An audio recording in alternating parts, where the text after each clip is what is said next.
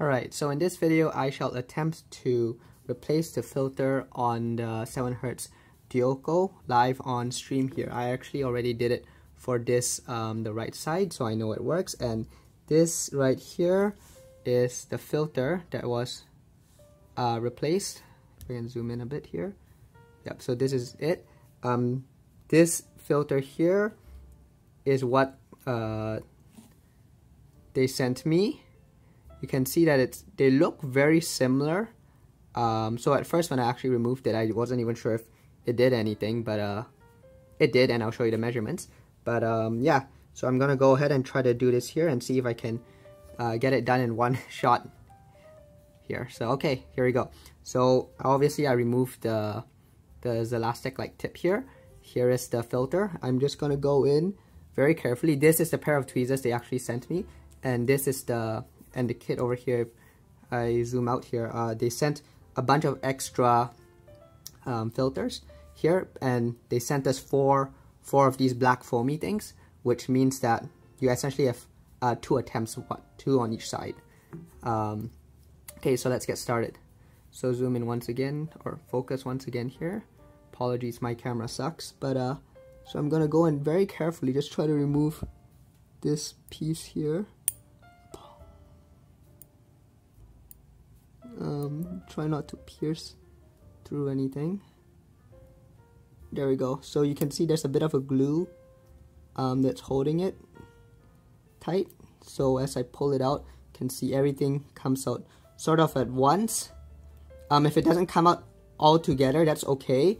Um, it might come out with the silver piece first and then you sort of have to very carefully peel off the the the white uh, the white piece before finally removing the foam. Um, just be a bit careful, I guess, not to push anything too far in, but yeah, it, it kind of sticks together as one piece, so it should be okay. Put that to the side. Alright, so here's my foamy piece, and here's the hard part. I need to zoom in again. Um,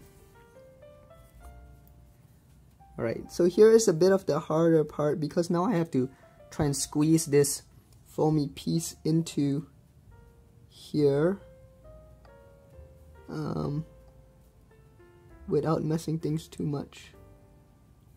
And you can see it kind of gets stuck on my tweezers there. Actually, what I will do is I will stick it to the white piece first, I think. Zoom out over there.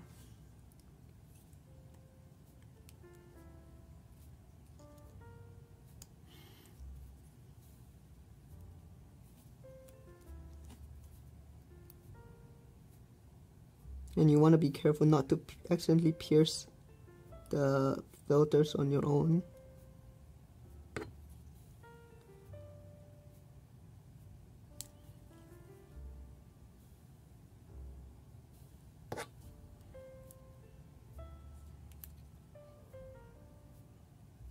There we go. Grab the little corner.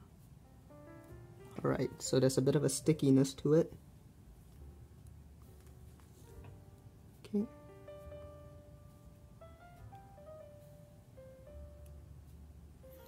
Alright, so I got that on. So the white piece is on uh, to the foam. So you can sort of see I have it.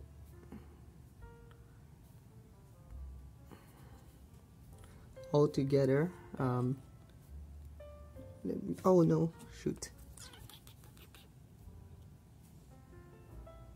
Okay, there we go. Apologies for the zooming issues but uh here is the that piece and here it is. I'm going to try and maneuver it so it fits this way. There we go. Okay. So then kind of squeeze the foamy piece in first and try to make it, it so it's even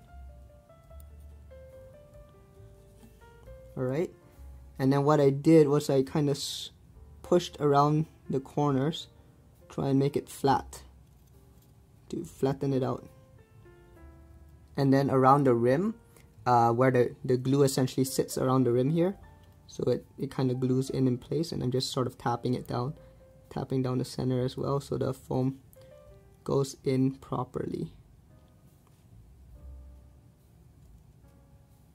So just some rubbing around the rim here, making sure the glue is set.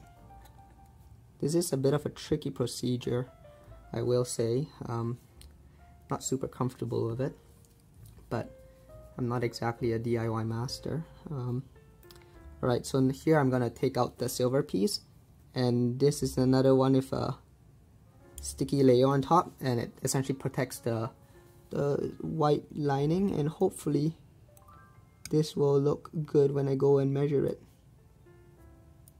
Alright, there we go.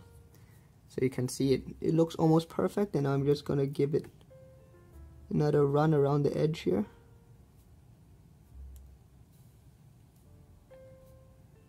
To really lock it in place.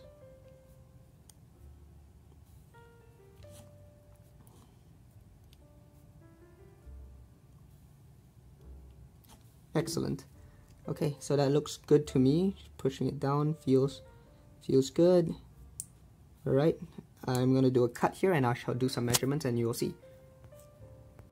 Okay, so I just uh, measured it with my coupler here. Um, I'll throw on the measurements on the screen here in a second and we can discuss it.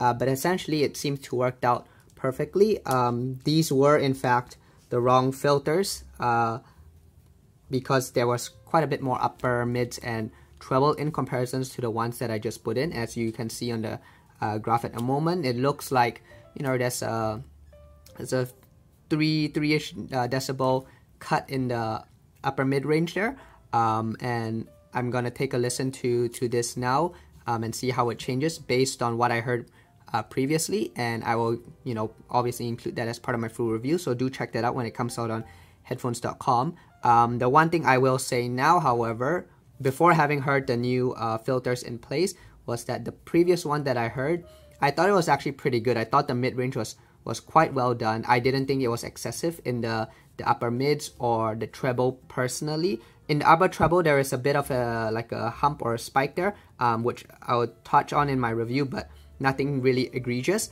Um, however, so I'm going to be very curious as to see what the effect is of this uh, reduction in the upper mids uh, will do to this to this IEM here, the Dioko. All right, thanks for watching, and hopefully that was helpful for you if you did in fact get a set that wasn't, uh, you know, um, didn't have the correct filters. Bye bye.